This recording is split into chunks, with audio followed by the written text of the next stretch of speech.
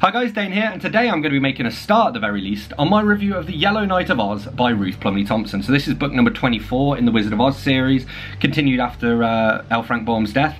As usual, I'm going to read you the blurb, I'm going to go through and check out my tabs, and then I'll share my overall thoughts and rating at the end. So, Dane reads the Yellow Knight of Oz, in which Sir Hokus of Pokes sets off on a quest and discovers instead one of the greatest feats of enchantment in Oz history. Two entire kingdoms transformed and hidden away for 500 years by the evil Sultan of Samandra.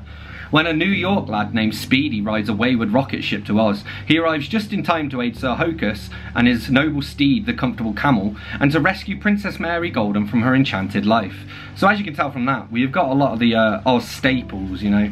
You know, we've got the revisiting old characters, we've got somebody arriving at Oz in a weird way, which seems to happen a lot. So Sir Hokus, he goes, In my day, maidens remained quietly at home, doing household tasks, embroidering, watching from towers and so on.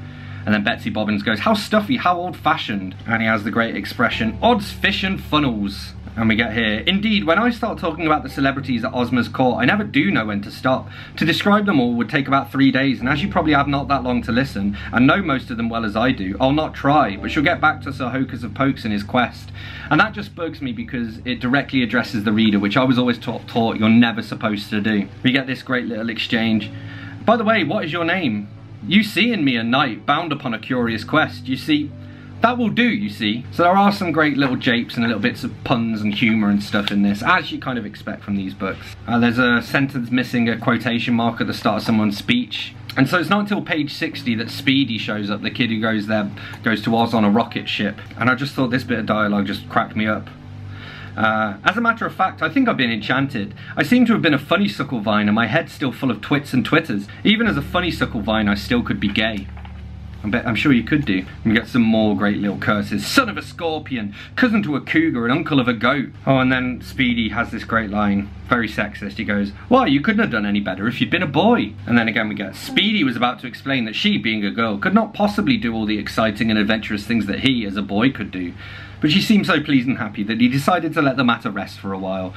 It's kind of weird reading this stuff. I know it's an old book, but it was, was written by a woman. Uh, Queen gazes searchingly, which bothers me. I hate like unnecessary adverbs. And then this final little pun I want to sh uh, share here. Why, it's Ozma, quavered the comfortable camel. Who's Ma? queried Peter Pan. Why, she's a mere child and no Ma at all. So yeah, storyline wise, I mean it's bonkers. None of it makes any sense. You've got a freaking spaceship that goes straight into the ground and rather than just exploding when it hits the ground, it goes all the way through to the center of the earth and finds Oz there. So there's a lot of weird bits, a lot of like contradictions which happens in these books, um, a lot of unnecessary adverbs, a lot of casual uh, sexism, but it's fun enough if you can get past all of that. Um, lots of puns. Um, it hasn't put me off reading the Oz books. I mean, by this point, I just want to keep going and get to the end, you know.